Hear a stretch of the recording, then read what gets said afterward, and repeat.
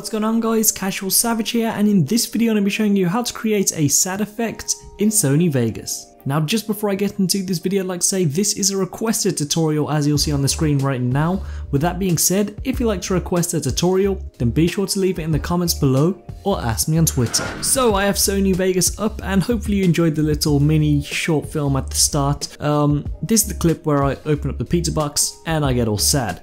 So the first thing I'm going to do, I'm to find, I open the pizza there and then I get sad here so I'm to press S on my keyboard to split it.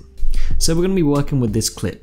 This clip right here is to stay the same. So the first thing, of course, for sad effect, we're going to add some black and white. So we're going to head over to video effects. If you don't see it, simply come to view, Windows layout and select default layout. And from video effects, as you can see, it says black and white. And we're going to drag our 100% black and white onto this clip we split. As you can see, the video is now black and white. Now what it's going to do at the moment, it's going to go straight from color to black and white like that. If you want it to slowly blend into black and white, we're going to select the animation button here. And at the first keyframe, you're going to select it and we're going to turn this blend amount to zero. So the color's back.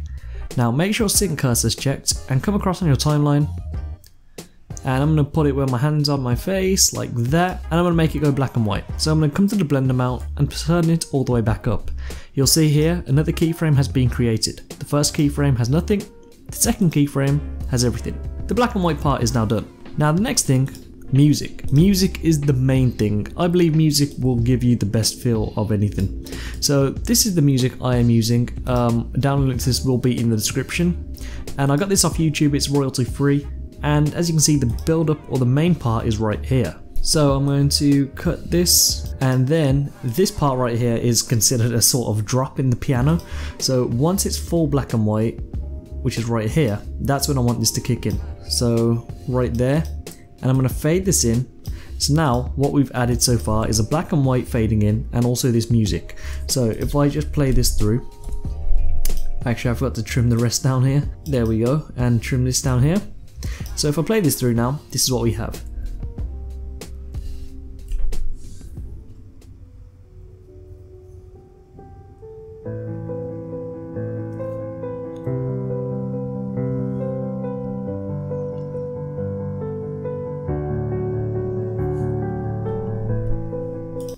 Okay, so you get the idea. It's pretty simple. Next thing we can do, maybe add a zoom into the face. So maybe a slow zoom. So I'm to come to the end keyframe here, come to the event panel crop, and I'm simply going to have size about center checked and lock aspect ratio checked, and I'm to zoom into my face. Like this. There we go. And uh, if I quickly play this through now, you'll see we're to slowly zoom into our face.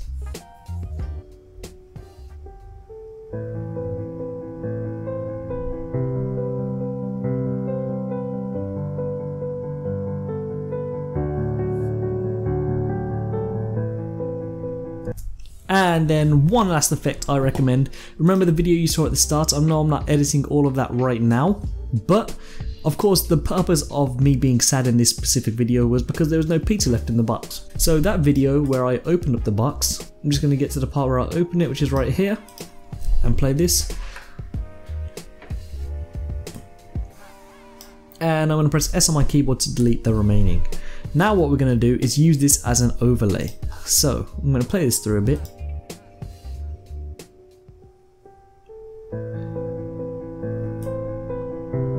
Now right here I'm going to press M on my keyboard to lay down a marker and this is where this video is going to come into it. So I'm going to press U here to get rid of this audio and I'm going to right click and insert another video track so it's above. And I'm going to drag this video right here. All I'm going to do is turn down the opacity from here. I believe people who are on Vegas Pro 12 or 11 and below, you won't be able to change the opacity directly from here. If that's the case, come over to the side and just change it here. So I'm going to change this to, let's see, 50%. Now as you'll see, this gives us a great effect. It's got the music, got the black and white, we got the zoom, and we got the overlay, so it's like a flashback. So the final time, let's play this through.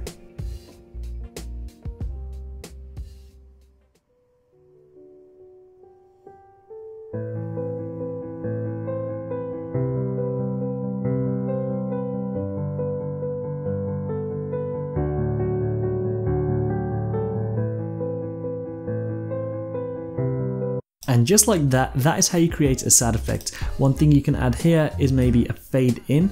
And uh, once I open up the pizza box right here, press S on my keyboard, extend this all the way out so it's slow motion, add another fade out, and this is what we get.